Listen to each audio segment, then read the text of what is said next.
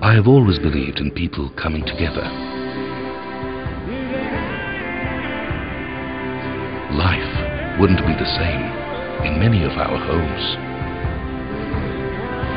communities, or country if it wasn't for the cooperative movement. By coming together, we have achieved great things.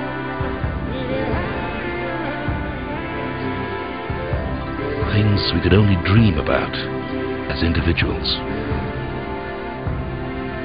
And with each passing day, the cooperative movement grows stronger.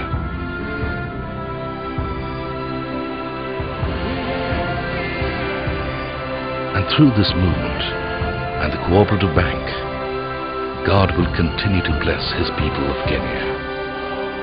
For everything is possible when we come together.